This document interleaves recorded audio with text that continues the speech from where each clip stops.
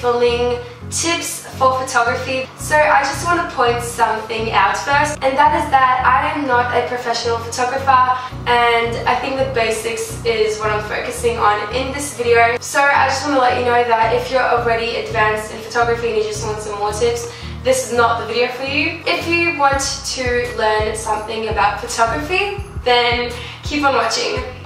When you start off with photography, you don't really need the best camera because you're just starting out and you're learning. But if you want to take your photography to the next level, then I do recommend you get a good camera. I have the Canon 700D and a Sigma 30mm 1.4 lens. I'll link it down below for you guys. I got it from Ted's Cameras. So you can also use your phone. I have an iPhone 6, so I use that sometimes as well. To get better quality photos, change the camera quality to RAW. It will take up more space on your memory card, but it's so worth it.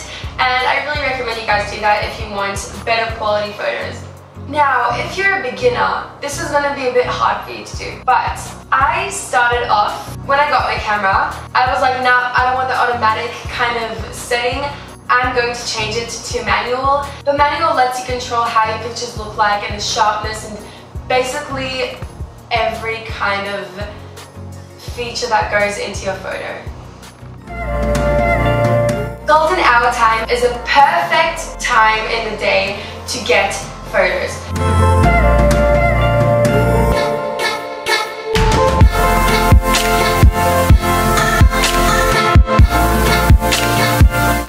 All the lighting soft so you don't have to worry about the harsh shadows from the sun if you're filming in golden hour time which is usually around 5 to 6.30 if it's daylight savings.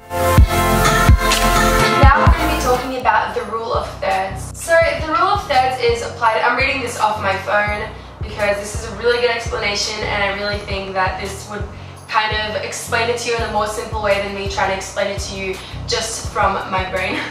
Um, so the rule of thirds is applied by aligning a subject. So the subject of your photo, it could be could be anything really like a flower, a drink bottle, whatever you want to take a photo of. So the rule of thirds is applied by aligning a subject with the guidelines and their intersection points, placing the horizon on the top or bottom line, or allowing linear features in the image to flow from section to section.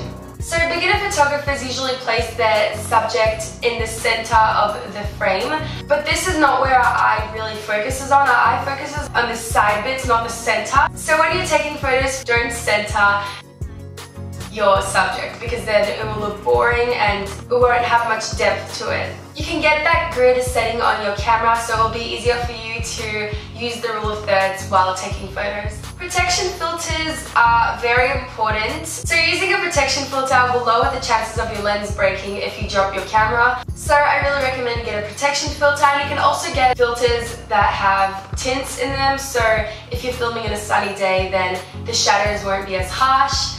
Um, just talk to the person at the camera store, they'll, they'll help you out. Large aperture for portraits is a very great way to get that blurry background that all the YouTubers have when they're filming their videos. Like if, can you see this? Can you see how that the fairy lights are like blurry behind me? So another tip is when you get a lens, make sure that the aperture is the lowest it can be so you have many options. And when I say large aperture for portraits, it means uh, the lower number. So like 1.4 is a large aperture. When taking a photo, you don't want everyone to see all the dirty clothes in the background unless you're filming like a commercial on laundry or something freaking, I don't know.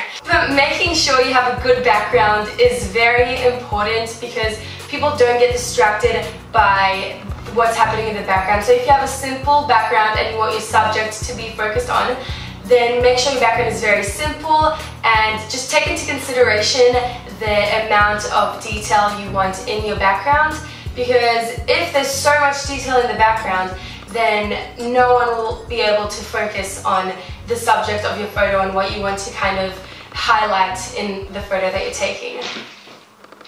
So don't take a million photos of one thing, just take one good one and spend a lot of time on it.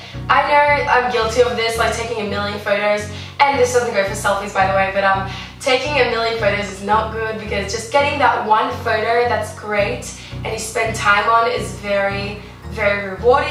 I hope you enjoyed that video. Make sure to leave this video a thumbs up. Um, subscribe to my channel and if you really want to then press the notification button thing bell if you really really like me. My hair is so long. Not long, it's just longer than it was before. I'll see you guys in my next video. Bye!